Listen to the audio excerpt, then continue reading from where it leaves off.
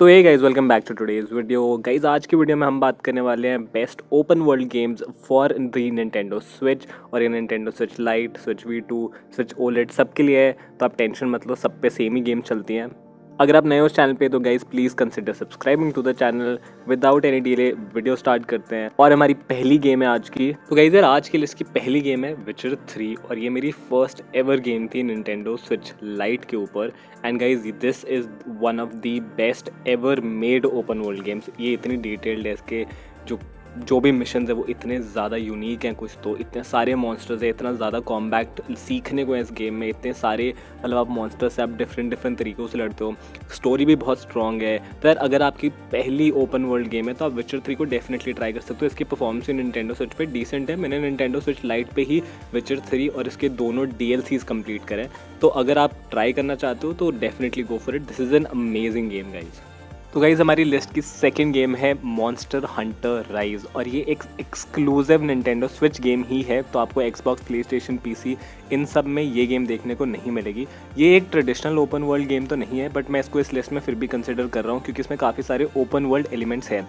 इस गेम में बेसिकली आपको डिफरेंट मॉन्स्टर्स को पकड़ के उनको कैप्चर करना होता है, उनको डिफीट करना होता है और बहुत बहुत डिफरेंट टाइप्स के वेपन्स हैं एंड काफ़ी एक बीच में स्टोरी भी चलती रहती है। तो it's quite a good game and इसकी परफॉर्मेंस भी निंटेंडो स्विच पे बहुत अमेजिंग है। तो अगर आप एक और fighting type open world game देख रहे हो तो guys definitely consider Monster Hunter Rise next game हमारी लिस्ट में है इमोटल्स फीनिक्स राइजिंग और ये गेम बिल्कुल Zelda Breath of the Wild जैसी है बट एग्जैक्टली वैसी नहीं है। ये काफ़ी light hearted comedy type open world game है बट इसमें काफ़ी सारे एलिमेंट्स हैं Zelda Breath of the Wild के। तो अगर आप Zelda Breath of the Wild खेल चुके हो या फिर आपने नहीं भी खेली है तो और आपको एक नया क्लीन न्यू एडवेंचर चाहिए। तो guys Immortals Fenyx Rising is a perfect game for you इसकी परफॉर्मेंस निंटेंडो स्विच पे काफ़ी काफ़ी अच्छी है। मैंने पूरी की पूरी गेम या निंटेंडो स्विच पे ही ख़त्म करी है।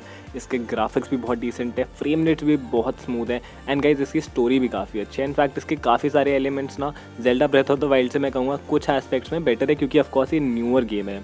एंड इस गेम में भी आपके पास काफ़ी कुछ होता है करने के लिए, काफ़ी साइड क्वेस्ट होते हैं पजल सॉल्विंग है, काफ़ी सारा कॉम्बैक्ट है, बहुत सारे डिफरेंट मॉन्स्टर्स है किल करने के लिए, काफ़ी सारी चीज़ें हैं अपग्रेड करने के लिए तो आप काफ़ी बिज़ी रहोगे and definitely guys check out Immortals Fenyx Rising also guys अगर आप इस चैनल को सपोर्ट करना चाहते हो तो गाइज़ आपकी स्क्रीन पे जो U P I I D है, उस पर गूगल पे फ़ोनपे पेटीएम कहीं से भी कुछ भी यू पी आई के थ्रू गाइज़ ट्रांसफ़र कर सकते हो आप अमाउंट एंड गाइज़ अगर आपको निन्टेंडो की कोई भी कॉन्सोल या गेम्स खरीदनी है सेल आउट करनी है तो आप निन्टेंडो इंडिया स्टोर को भी डेफिनेटली फॉलो कर सकते हो।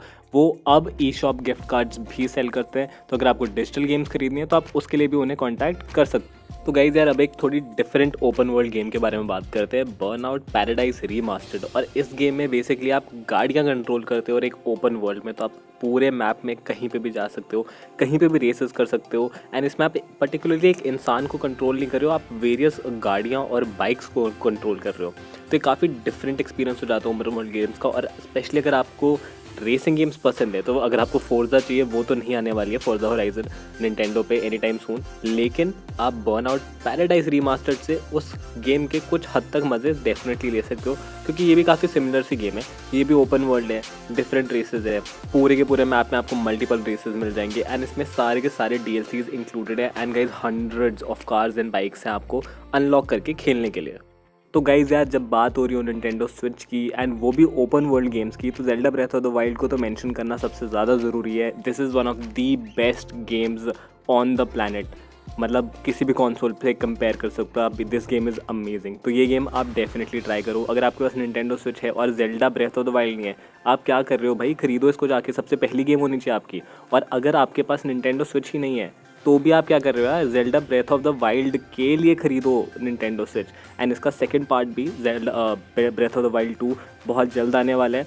तो यार, उसके लिए भी मैं तो पर्सनली बहुत एक्साइटेड हूँ। अब आप बताओ कमेंट सेक्शन में आपकी कौन फेवरेट गेम्स कौन सी है? ओपन वर्ल्ड निंटेंडो स्विच के ऊपर। ये पार्ट वन है। पार्ट टू बहुत जल्द आएगा आएगा। अगर आप इस चैनल पे नए हो तो प्लीज़ सब्सक्राइब करो। मैं ऑलरेडी काफ़ी सारा निंटेंडो स्विच के ऊपर कंटेंट बना चुका हूँ। एंड गाइज़ प्लीज़ यार कमेंट करो लाइक करो एंगेजमेंट रेट बढ़ाओ। मेरी भी थोड़ी रीच बढ़े सब्सक्राइबर बढ़े बढ़े। मिलते हैं आपको जल्दी नेक्स्ट वीडियो में। With that is always guys thank you for watching this video and I will see you the next one